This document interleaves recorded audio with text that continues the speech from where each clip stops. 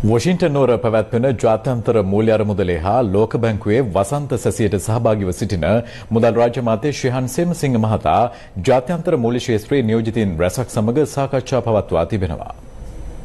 මුදල් රාජ්‍ය අමාත්‍ය ශේහන් සේමසිංහ සහ මහ බැංකුව අධිපති ආචාර්ය නන්දලාල් වීරසිංහ යන මහත්වරුන් ඊයේ පැවති ගෝලීය රාජ්‍ය ණය වටමේ සමුවට සහභාගී වුණා. ශේහන් සේමසිංහ මහතා සිය එක්ස් ගිණුම හරහා ජාත්‍යන්තර මූල්‍ය අරමුදල ලෝක බැංකුව සහ ජී20 රටවල් වලින් ණය ප්‍රශ්න විසඳා ගැනීමට සහාය ඉල්ලා තිබෙනවා. රාජ්‍ය අමාත්‍යවරයා ජාත්‍යන්තර මූල්‍ය අරමුදලේ කළමනාකාර අධ්‍යක්ෂ ක්‍රිස්ටිනා ජෝජියේවා මහත්මියද ඊයේ මුණ ගැසුණා. එමෙන්ම ශිහන් සේමසිංහ මහතා ඇමරිකා එක්සත් ජනපද භාණ්ඩාගාර නියෝජ්‍ය සහකාර ලේකම් රොබර්ට් කැප්රොත් මහතා සමගද සංවාදයක නිරත වී තිබෙනවා. රාජ්‍ය අමාත්‍යවරයා සඳහන් කර තිබෙන්නේ ඔවුන්ගේ සංවාදය තුළින් ශ්‍රී ලංකාවේ මෑත කාලය තුල සිදු වූ ආර්ථික සංවර්ධනය, ණය ප්‍රතිව්‍යුහගතකරණයේ තත්වය, බදු පරිපාලනය ශක්තිමත් කිරීම සහ පාලන ප්‍රතිසංස්කරණ පිළිබඳව සාකච්ඡා කළ බවයි.